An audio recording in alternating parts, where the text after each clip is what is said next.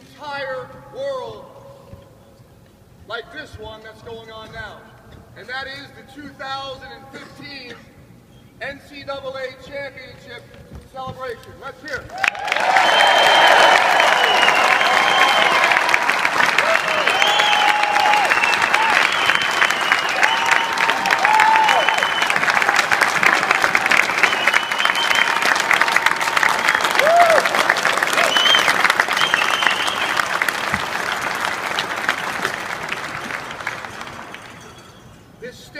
This team, this community, Buckeye Nation, our alumni, our supporters, our donors, we have hungered for this for a long time. And I can tell you that these student athletes know that.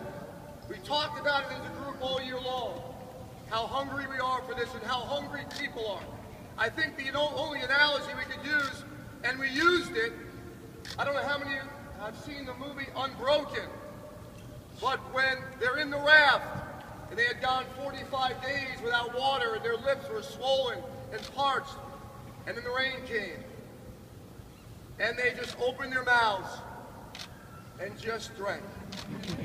How great did it feel? So everybody today, let's just drink. Lots of water.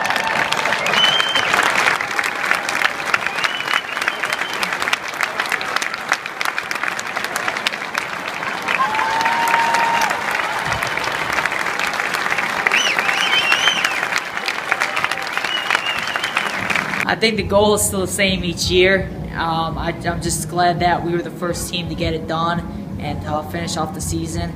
I mean, it's been it's been a great year, and we've had a lot of adversity, and to come together um, and win it, means a lot. Nathan Thomas Sembo!